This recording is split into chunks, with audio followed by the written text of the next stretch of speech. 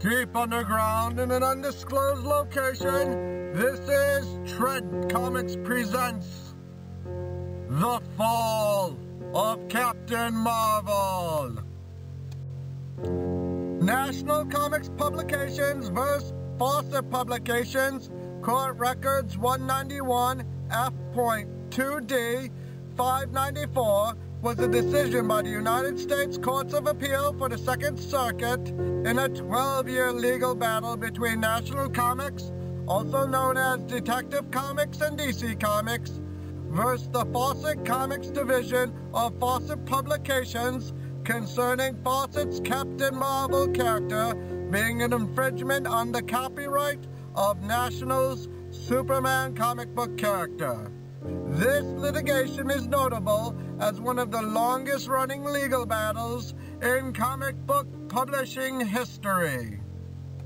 The suit resulted in the destruction of Fawcett Comics and the cancellation of all of its superhero-related publications, including those featuring Captain Marvel and related characters. In 1970s, National rebranded as DC Comics, licensed the right to Captain Marvel, and revived the character. DC Comics then purchased the rights completely by 1991. Captain Marvel was not the first superhero comic book character, or even the first Fawcett superhero character, to be the subject of a copyright infringement lawsuit.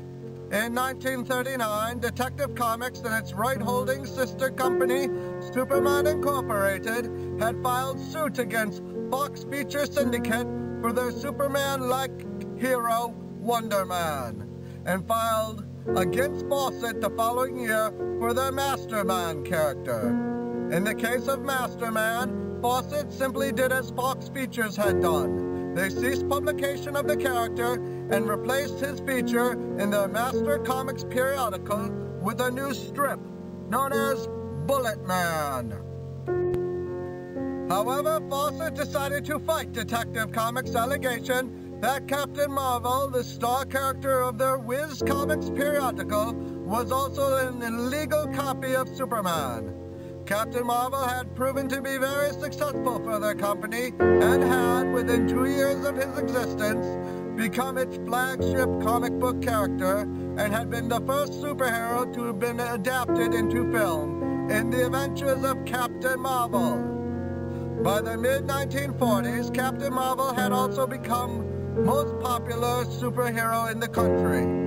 His Captain Marvel Adventures was the nation's highest circulated comic book magazine, selling 1.4 million copies an issue, and Fawcett had created an entire family of spin-off characters.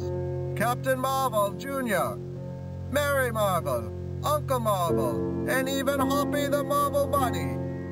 While its lawsuit against Fawcett was still pending, a few of the elements unique to the Captain Marvel strip found their way into Superman comics, including making Superman fly, Superman's arch-villain Lex Luthor, a bald, mad scientist like Captain Marvel's Dr. Sivana, and introducing the adventures of Superman as a teenager under the title Superboy, after Captain Marvel's teenage sidekick, Captain Marvel Jr., proved popular.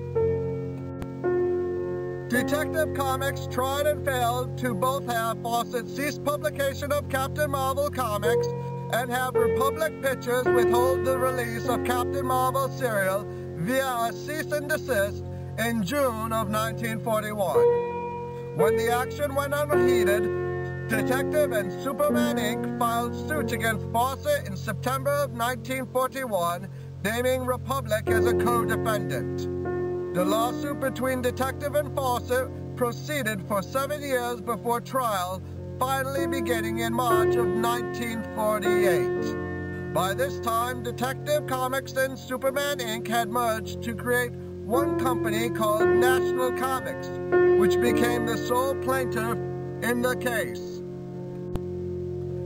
National's argument was that Captain Marvel's main power and characteristics super strength, super speed, invulnerability, a skin-tight costume with a cape, and a news reporter alter ego were derived directly from those of Superman. Fawcett's counterargument was that although the two characters were indeed similar, the similarity was not infringing. National presented as evidence a binder over 150 pages in length featuring panels from their comics of Superman performing superheroic stunts juxtapositioned with panels of Captain Marvel doing the same stunts in magazines published at a later date than the Superman example. Fawcett countered suit in two ways by providing examples of Captain Marvel performing those feats at an even earlier point of publication, or by providing examples of other heroic comic characters, such as Popeye or Tarzan, performing those feats in earlier published comic strips. Testimony from Fawcett employees and artists hired by Fawcett on a freelance basis offered differing positions on whether or not the Fawcett creative team had been required to copy from Superman comics. The trial was decided in Fawcett's, Captain Marvel's favor because of information Fawcett's lawyers had uncovered about Superman's copyright status. The defense lawyers provided evidence that National Comics and the McClure Syndicate failed to copyright several of the Superman newspaper comic strips and the trial judge decided that National had abandoned its Superman copyright such that it was no longer valid. The trial judge did find, however, that Captain Marvel was an illegal copy of National's Superman. National appealed the decision in 1951 to the United States Court of Appeals for the Second Circuit with famed Judge Learned Hand presiding. Judge Hand's ruling in National's favor reversed a part of the trial court's decision. National's Superman copyright was held valid, but the McClure strips were not under copyright, and that the finding that Captain Marvel was an infringement of that copyright was affirmed. Judge Hand did not find that the character of Captain Marvel itself was an infringement, but rather that specific stories or super feats could be infringements, and that this would have to be determined in a retrial. He therefore sent the matter back to the lower courts to decide. Instead of trying to appeal the Second Circuit's decision to the Supreme Court or going through the damage assessment on how much of an infringement Captain Marvel was in district court, Fawcett decided to settle with National out of court. Superhero comic sales had decreased dramatically during the early 1950s, and Fawcett decided it was not worthwhile to continue fighting National. National agreed to settle with Fawcett out of court, and Fawcett paid National $400,000 in damages and agreed to cease publication of all Captain Marvel related comics. Fawcett Comics ended up canceling all of its superhero comics, selling the reprint rights for Hoppy the Marvel Bunny to Charlton Comics, who relettered the artwork to identify the strip as Hoppy the Magic Bunny. The entire creative staff of the comic book division was laid off, including noted comic book creators such as C.C. Beck and Otto Binder, and the comics division was shut down. L. Miller and Son, a small British publisher of black and white Captain Marvel reprints, adapted Captain Marvel into a derivative superhero, Marvel Man, instead of folding their comic book business.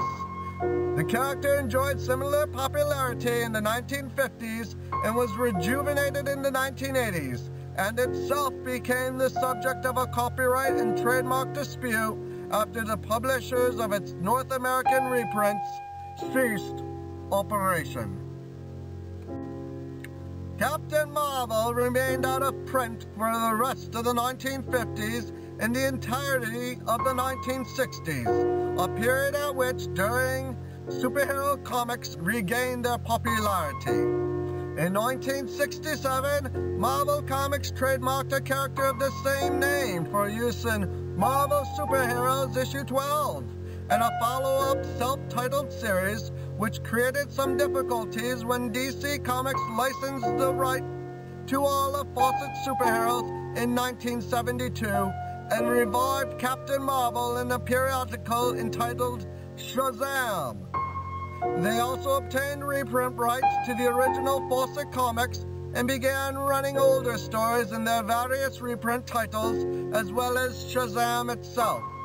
However, the license agreement required a per-use fee for every appearance by a Fawcett character, which limited DC's willingness to use the characters and resulted most of them appearing very rarely once the Shazam series ended in 1978.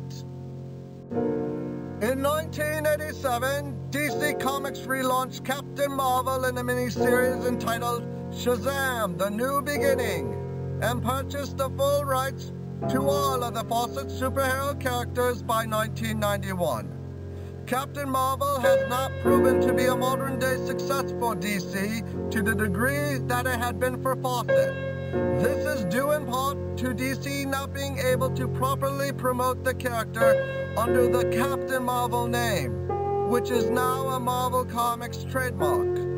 As a result, when DC Comics rebooted its entire comic line under the new 52 initiative in 2011, Captain Marvel was renamed Shazam and was reintroduced to comics the following year under that same name. National vs. Fawcett is still an off-reference case in the areas of copyright law and plagiarism because of its readily accessible subject matter and the popularity of its author, Judge Hand, among legal scholars. It was occasionally nicknamed Kentford Spatson in honor of the hero's alter identity, Clark Kent and Billy Batson.